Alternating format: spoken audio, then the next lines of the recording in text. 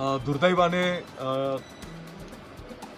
पाठीमागच्या काळामध्ये टोमॅटोवर जो काही ए- एक विषाणूचा आजार आला तर याचा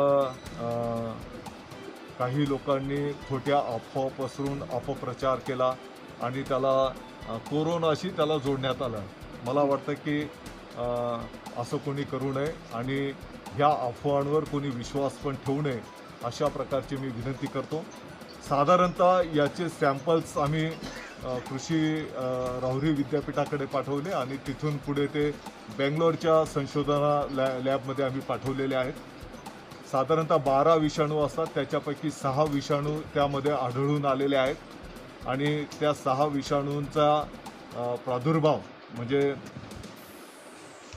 ते ते रोप लागवड करीत असताना आणि फ्लॉवरिंग स्टेजमधून फळामध्ये रूपांतर होत असताना त्या विषाणू